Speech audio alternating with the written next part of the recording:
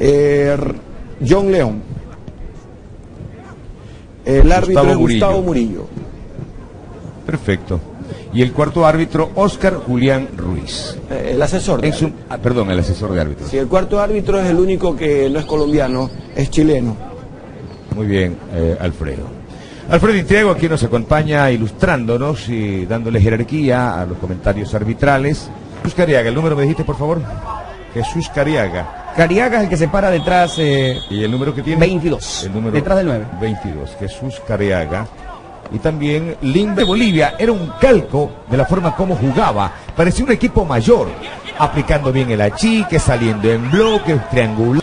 Señoras, señores, se corre tiro libre para Perú. Primer palo. Rechazo de aquel jugador zaguero de Bolivia que se va a perder por el otro costado. De esquina para Perú, señoras y señores. Camiseta número 7 de Gerald Tavara. A ver, Tavara. De zurda. Abierto, cabezazo al marco y la saca el arquero. La sacó el arquero en forma espectacular. El guardameta Rubén Cordano. Muy buena respuesta de este arquero.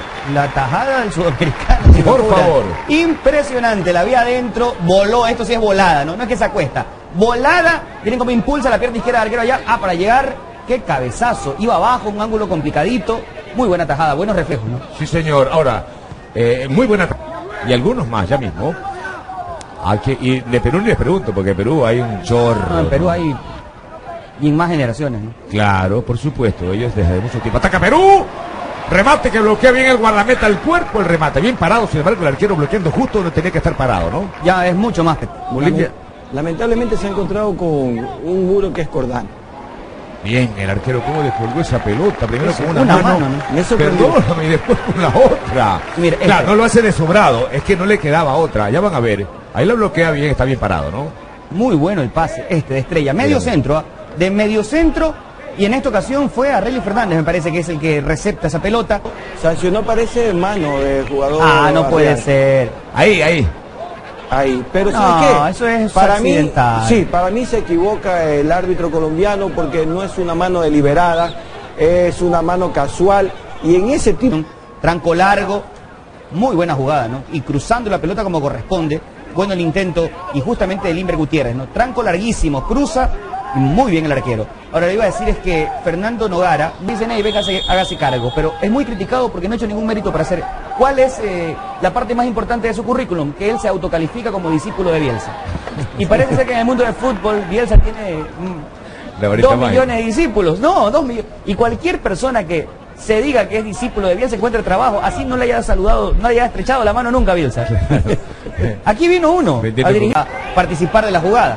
Limber Gutiérrez, perdón, Gutiérrez por la izquierda, Gutiérrez, centro sobre el segundo palo. Esa volea no prosperó. Y después el guardameta.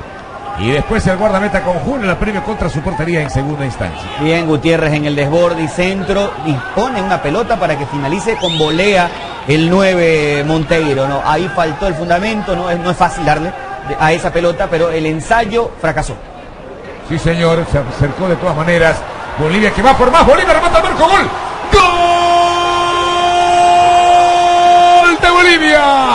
¡Gol de Bolivia! Ronaldo Montero, señoras y señores.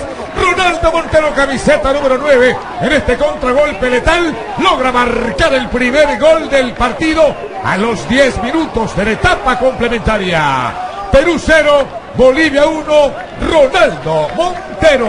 Bueno, ¿y qué pase que saca aquí uno de los dos mediocentros, en esta ocasión Rivera?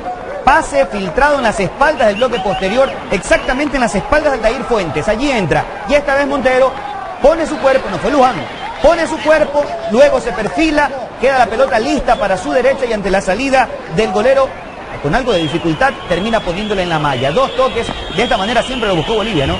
Pocos toques, juego directo y hasta que le salió y sorprende a Perú.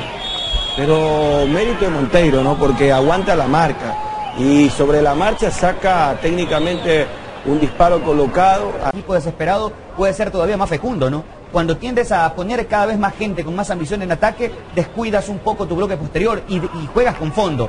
Entonces a Bolivia le viene muy bien, es el escenario propicio porque va a existir el espacio en las espaldas de los centrales peruanos para enquistar ese pase. Ahora, qué buen pase. Qué buen. Bruno Miranda a los 44 minutos del segundo tiempo. Señoras y señores, y esto está liquidado. Perú 0, Bolivia 2, Bruno Miranda. En la jugada que rompe todo es el piquecito que hace Limber Gutiérrez en la izquierda, ya lo van a ver. Ese piquecito que deja, este, este, miren, el control, el control orientado, este, este de aquí. Claro. Ahí está el gol.